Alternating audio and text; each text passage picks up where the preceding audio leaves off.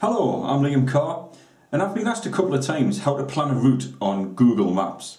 Uh, and it's quite easy, but Google Maps always assumes that we are car drivers, and we're not, we're cyclists.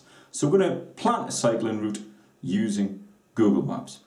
The first thing you've got to do on Google Maps is you've got to find this bike here.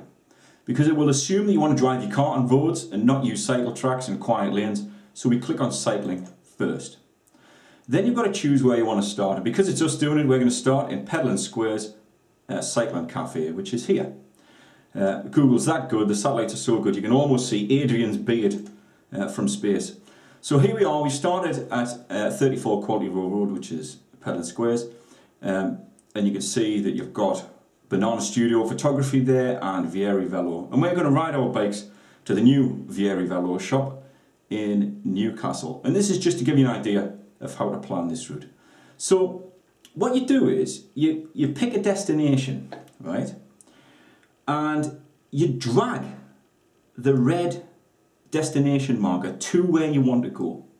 So I'm going to come down Swalwell Bank, okay?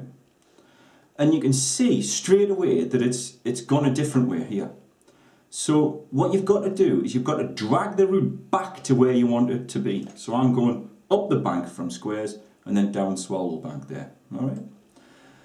And then I just keep doing the same thing along here. I want to turn in here, zoom out again, and I want to get on this uh, bike track here. So let's do that. And then I'll drag myself along the bike track. Okay, across the river Don't. There. Underneath the A1, along the River Derwent path,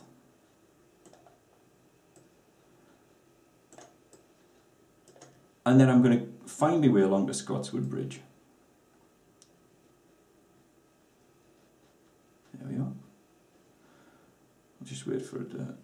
Yep, that's perfect. Okay. And then I'm going to go across Scotswood Bridge and down the other side. Right? And I would like, see it's, it's flicked up there, did you see that? So I'm going to flick it back down to the road I want to be on, which is this road here, Scotswood Road. And then I'm going to keep going along it. And what I would like to do is I'm going to go back on down onto the quayside there. Vicar stops you from riding along the Tyne there, so you've got to go along the quayside. Yeah, this is perfect onto the Hadrian's Wall path. And you can see it keeps trying.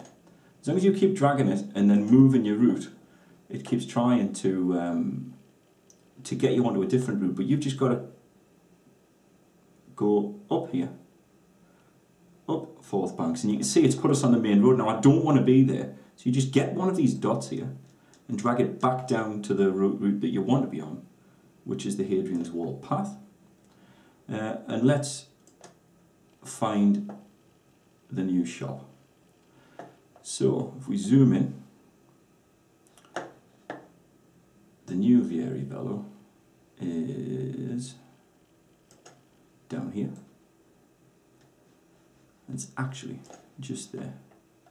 Let's see if we can see it. There it is, Vieri Velo in Newcastle.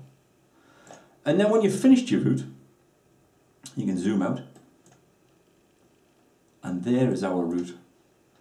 Uh, it says it's taken us 32 minutes, we can do it much faster than that, but that's how long.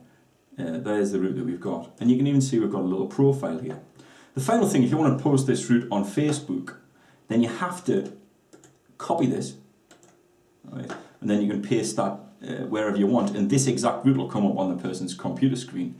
The other thing you can do, you can po post a photo of your route just by pressing this print screen button um, and then you can copy that into a photograph, um, which we can easily do using our accessories. And uh, I just use paint, I know it's pretty basic, but it's pretty easy. There you've got our route. Um, and we can crop it. So we just get the bit that we want. Uh, and another clever thing you can do, it's a little bit more tricky, but another clever thing you can do is you can get the profile up if you're on a longer route.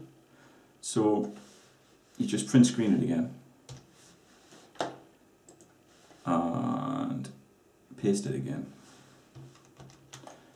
Um, but the, the bit that we want is this, so we can easily just select that, just the profile. Stick it in the corner so then people have got an idea of how many hills they're going up, which is obviously a good thing. And then we'll crop the rest out. Just crop it again. And that is how you plan a route, cycle route, on Google Maps. And it's also how you get from Pedalling Squares to Nick's new shop uh, near the Centre for Life. Thanks for watching. I'm Liam Carr. I'll see you for a ride sometime.